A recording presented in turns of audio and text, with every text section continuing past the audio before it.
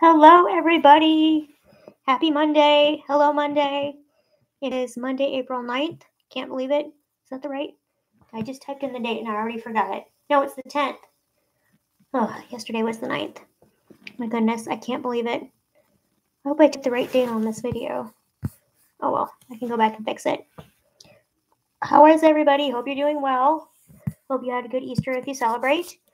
Uh, let's see. Let me just say hi in the comments.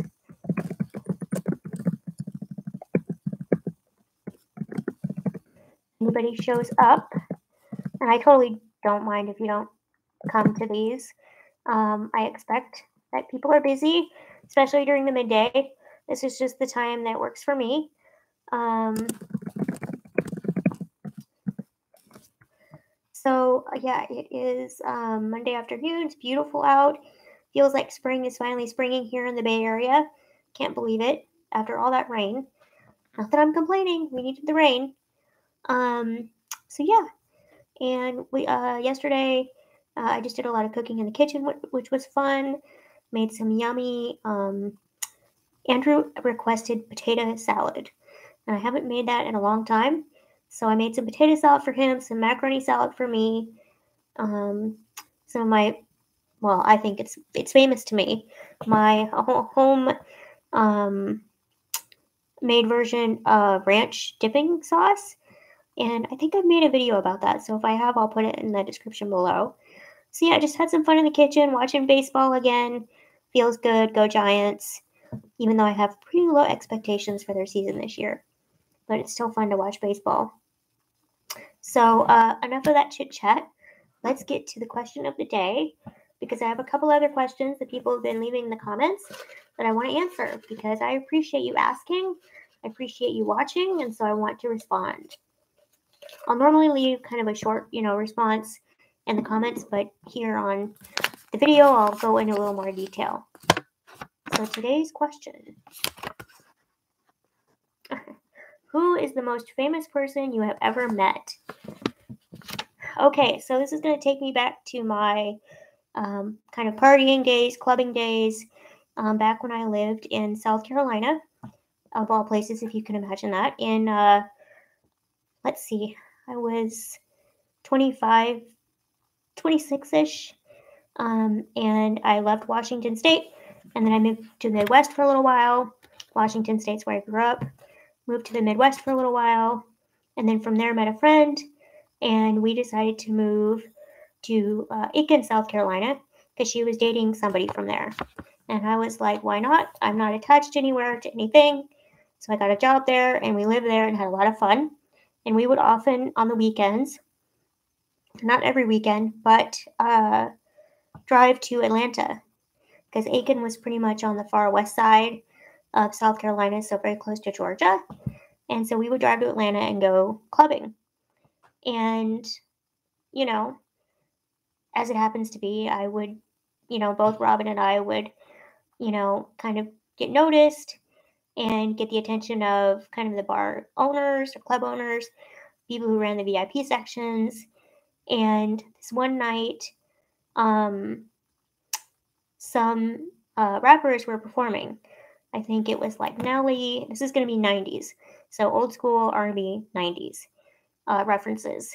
So I think there was Nelly, um, couple women, and then, but the probably biggest celebrities I met there were LL Cool J and Chris Tucker. So that was pretty cool. Um, LL Cool J was very nice, which was nice because sometimes you know you see celebrities and and they turn out to not be very nice people. But they were hanging out there in the VIP section, so we got to hang out up there and have some drinks. And Chris Tucker was really nice too. He's uh, I think was in the movie Rush Hour. So yeah, those would probably be the two famous, most famous people I met. And, you know, for me anyway, you know, you think you're going to meet a famous person. I mean, now maybe if I met like Oprah or somebody super, super famous, I'd get really nervous and say something stupid. But when I've been in, in these situations of meeting famous or semi famous people, I'm actually kind of chill. Like, I think I just instinctively, um, I just act like myself. And I don't know. I have not embarrassed myself uh, in those situations, which is kind of nice. So yeah, that's that's the answer to the question. What about you? Let me know in the comments below if you've met any famous people. Famous, you know, and famous is subjective. So, or you know, noteworthy people that you um, have looked up to, thought was cool to meet, whatever. Um, share a story below so we can, um, yeah, we can kind of share experiences. Um, and if you have any follow up questions about the little story I told, feel free to ask and I can expand a little bit more. But as for the other two questions that I was asked um, from some previous videos, uh, live videos, uh, hello, my my dear honey is saying hello in the comments. He probably knows the answer to all these questions, so he's it's not very fair, but uh, I appreciate appreciate you being here, dear. Um, the first question was asking about my skincare. Uh, somebody asked, they were comment, commenting on my nice fair complexion and um, asking if I have any special skincare routine or lotion routine, moisturizing. The short answer is no. Wish I could say I did. Think that's why the compliment is so much more appreciated. Um, I'm very low maintenance on my skin. I don't know if that's a good or a bad thing, but I don't wear a lot of makeup aside for special occasions. Um, I don't even really wear very much sunscreen, which I probably should. Um, that's maybe a habit I should get into. Uh, but uh, I um I don't how to say this because I don't want to say anything that doesn't it seems controversial or doesn't come out right. But I don't like putting a lot of products on my body. And yes, soap is good. It cleans, it cleanses. I get that. But if you actually read what's on a soap bottle, there's a lot of stuff, a lot of chemicals you can't pronounce. And um, so I clean to maintain hygiene and to be um, to be, you know, sanitary clean that way. I do not feel the need to do a lot of extra uh, buffing and scraping and pinching and polishing and putting a lot of things for my skin to absorb. Now, maybe one day that will change. I don't know, but that's where I'm at right now. And I kind of save some money too because I'm not buying all those skincare products uh, that are very heavily marketed. So, to the friend who asked me the, question, thank you for asking. Thank you for the compliment. I really appreciate it. Soap and water and uh, Oh, when I do use that's I one one thing I use. It's a um the CeraVe retinol that after I shower, um, I uh, do one little um, swab application of that, and I think the retinol maybe help a little bit with wrinkles. But oh, hey Donna, maybe that was the one you were the person asking the question. So uh, I hope I answered it for you. Okay. Um, I'm very low maintenance. Second question that I was asked was, um, how do I manage my time? And that's an interesting one too because the thing with productivity and time management, um, I first and foremost say everybody's different, and you have to do what works for you. This is I have a you know disability and chronic conditions that come with that, and so I've had to learn through trial and error to come up with time management systems that work for me. So well, what, what works for me may not work for you. But if you have any kind of similar lifestyle or restrictions or conditions, the thing that has come to work for me in the past probably four to five years consistently, even with the pandemic and everything, is a routine. So I set my activity level based on what I know my body can tolerate.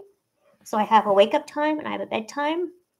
And I have found that I front load my chores in the first part of the day because that's when I have the most physical energy. Then I typically come in the office between 1 and 4, hence my live at 4 o'clock.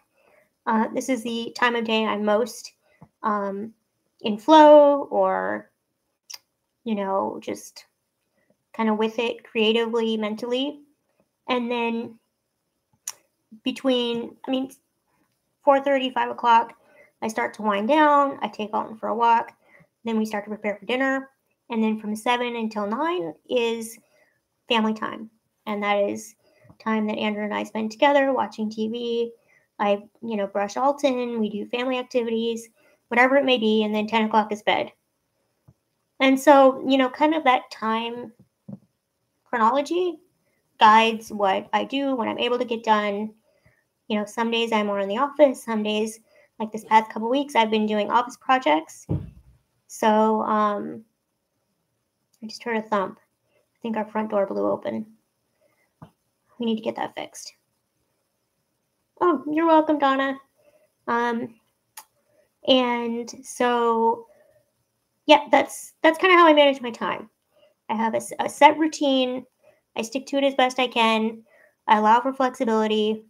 I'm not a super um, list maker. I mean, I like making lists, but it's not like every day I, you know, make a list of 20 things and then totally stress out or, you know, freak out if I don't get everything done. Been there, done that. So uh, if you, um, nope, there's Andrew shutting the door. I don't know if you heard that. Thank you, dear. Uh, so yeah, if you have any other questions um, about what I talked about today or just in general, feel free to uh, ask in the comments below. And if you have any tips for time management, feel free to share to share with the community. Um, if you're watching this on the replay, thank you so much for watching. Give it a thumbs up and uh, subscribe if you haven't already. If you're new to my channel and my community, I'm Jody. I'm a 40 something uh, wife and doggy mommy who lives in the Bay Area, and I just enjoy uh, sharing my life on YouTube and yeah, um, being part of this great community. So uh, thank you so much for watching. I'm going to wrap this and get it captioned and um, edited and thumbnail and all the things um, as soon as I can. And uh, yeah, I will see you next week. Thanks for watching. Thank you for also chatting in the comments. We're getting there slow but sure. Bye for now.